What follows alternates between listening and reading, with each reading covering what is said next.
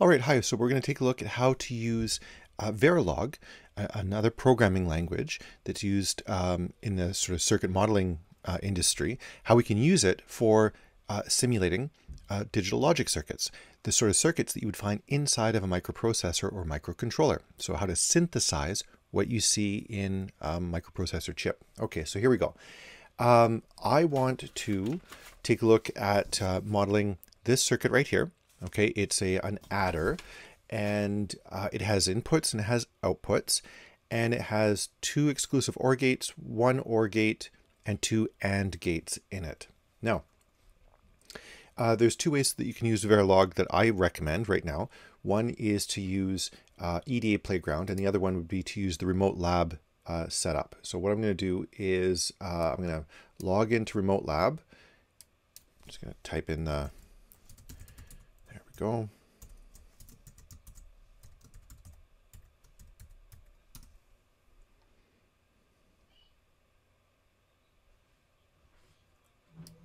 All right, so in Remote Lab, you can access the uh, command line like this, and we now have an SSH connection inside. It's a text-based uh, connection, and we can use that.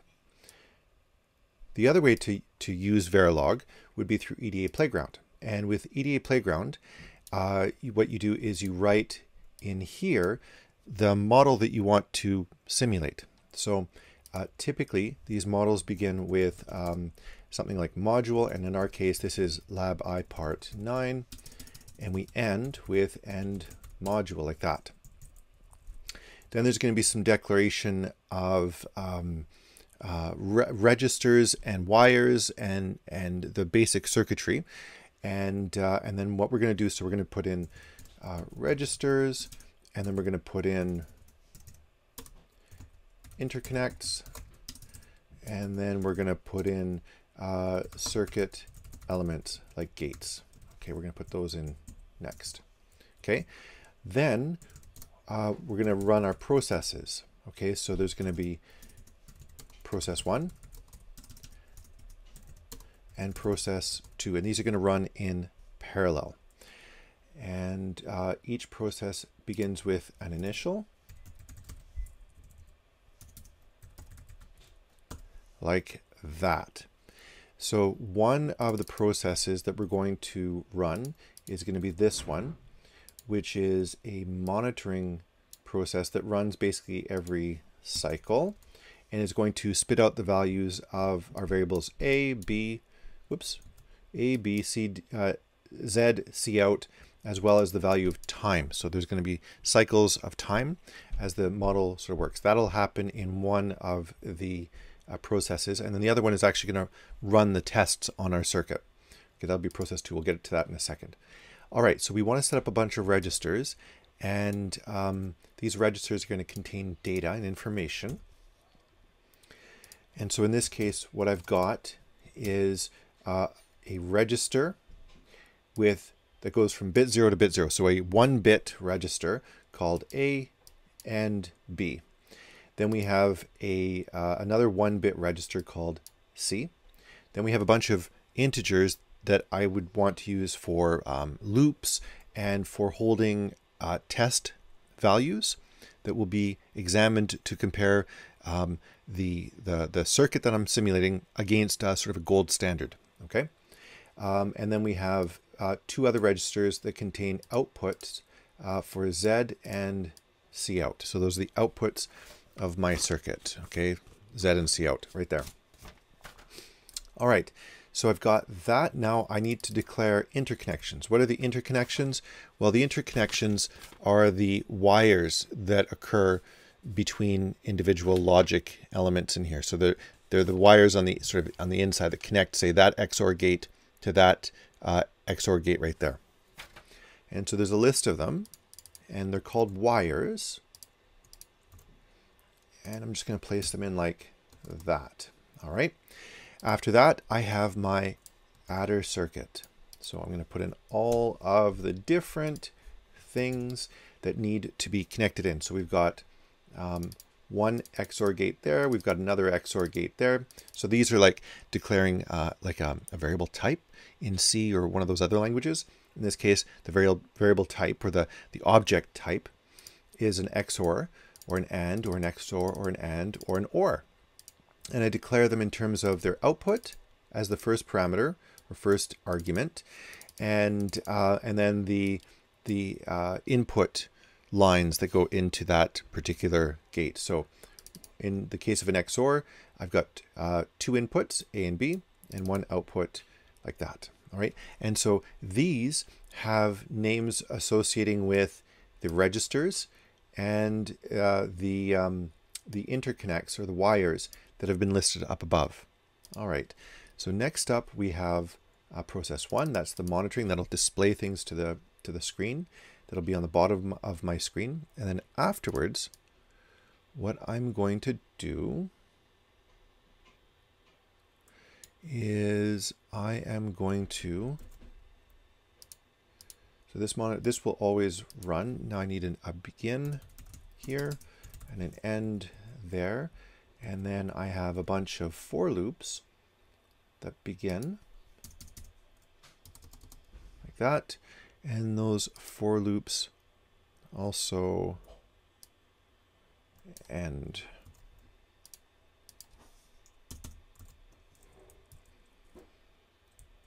Okay, like that. All right. And then I've got the contents that go right in the middle right there. Okay. And that will be me setting up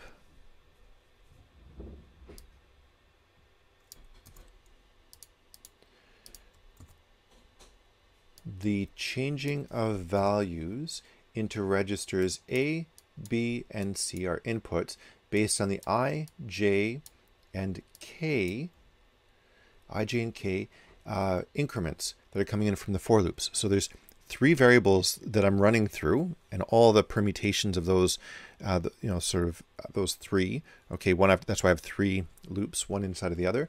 And then every time I get to the center loop, I update my A, B, and C based on the values of the counters in those three for loops. Then what I do is I have the gold standard equations that describe the output for Z and C out. And so I expect, I put the value that's supposed to come out for the combinations of A, B, and C into the variable expect1. And this is a combination of, in this case, there's an and here, there's an or there, there is an and there, and an exclusive or there. And those are all based on the pathway for, um, for let me see, this is Z right here. This is for uh, C out. Right there, there's C out.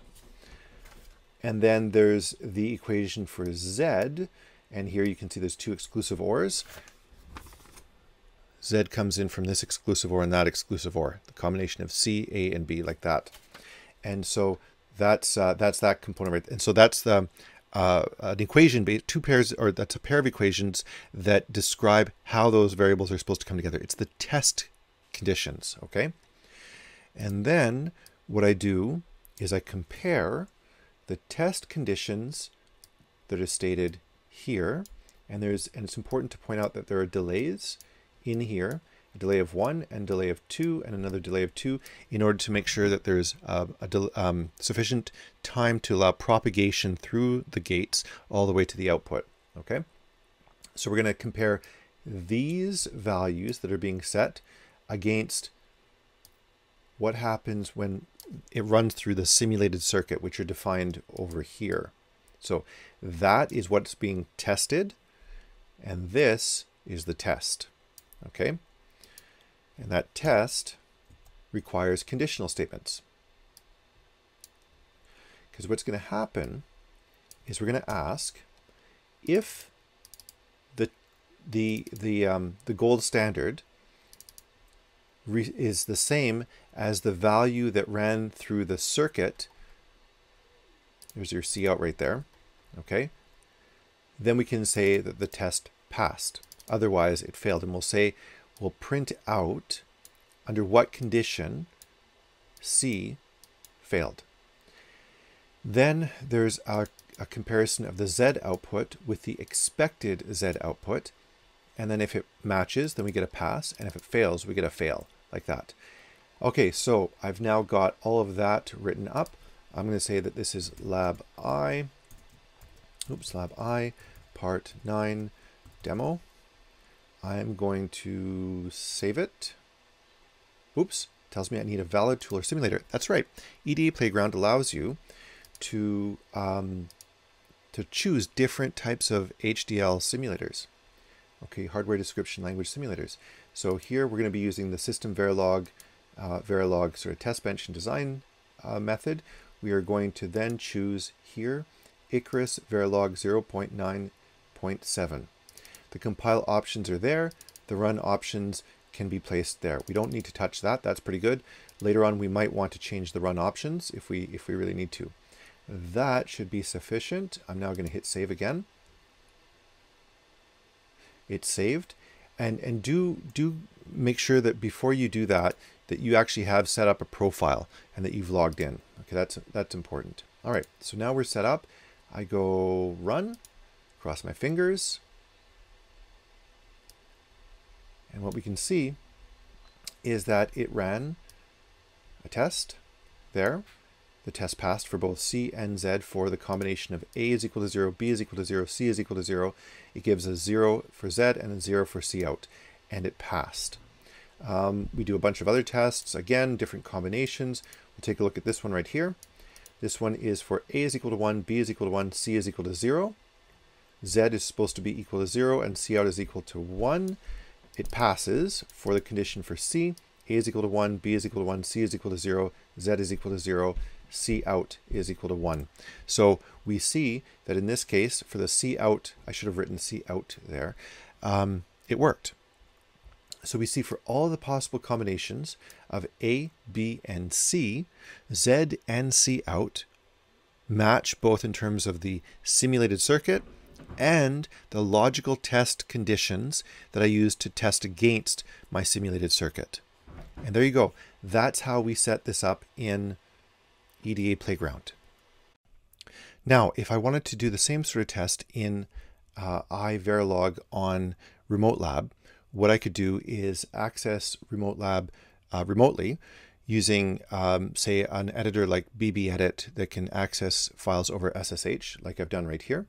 Okay, or uh, I can type directly in, uh, let's see, with Nano and Lab I, like that. Okay, and so you can edit directly in an SSH session like that. And then when you're done, you go iVerilog like that, and you say uh, lab i like this. And what we see is that there's an a.out file that's been outputted. We then go vvp a.out like that, and it runs the test on the um, on the remote lab system. So just like on EDA Playground, it's just it requires a command line interface. All right, good luck everyone. Take care.